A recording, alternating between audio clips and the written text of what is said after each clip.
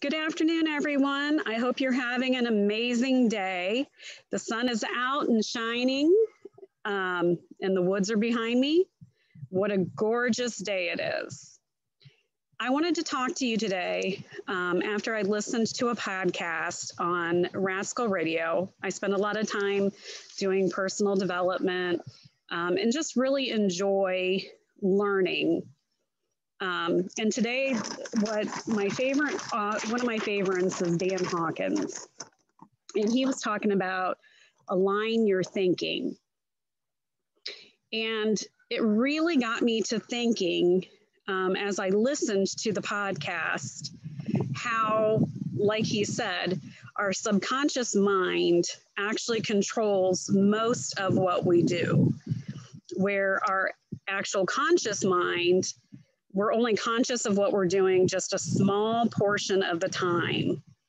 Um, most of the time, you're on autopilot. You know, um, think of when you're driving into the office or driving to work or driving to the grocery store, and you get from point A to point B, and you don't really have an idea of how you got there. That's controlled by your subconscious mind. So I was thinking more about everything and clarity of vision. Um, he had said something about, you know, um, having your own clarity of vision and how important it is to narrow down what you really want in your life and then taking those steps, conscious steps, not just steps, but conscious steps to get what you want. So, what that led me to thinking more about was everybody needs to clarify their vision.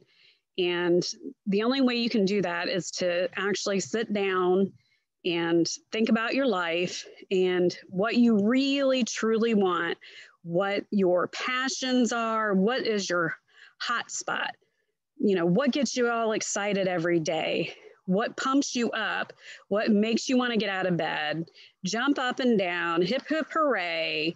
You know, what are those points in your life? And those are hot points for your clarity of vision. So, what are your hot points of clarity for vision? I know personally, I love learning and personal development.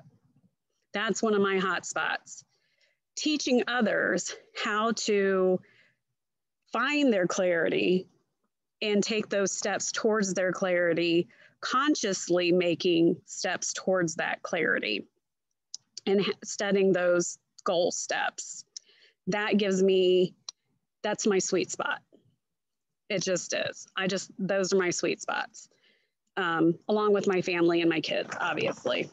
So, um, you know and that's another thing is what i tell people when i'm working with them and dan even mentioned it is acting as if.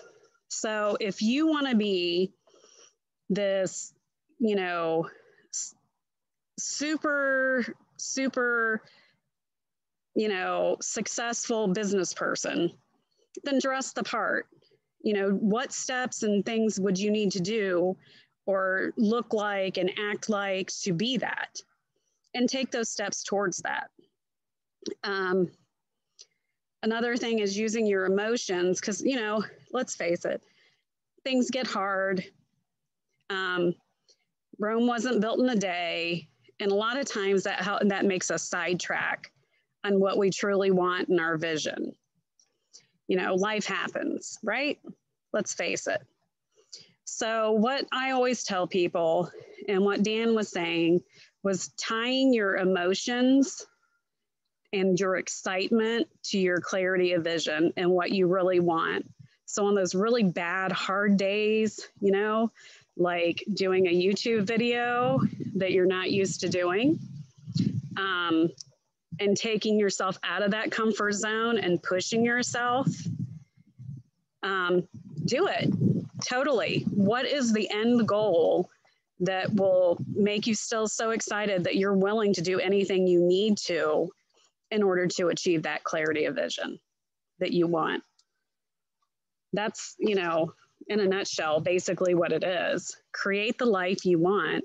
And the only way you can do that is getting out of your comfort zone, setting that plan, you know, doing the things that make you uncomfortable and having the people behind you that will push you to help you succeed. So we're going to be doing face or YouTube lives every day at two o'clock. So please come on out and join us. Talk to you guys soon. See you next Tuesday.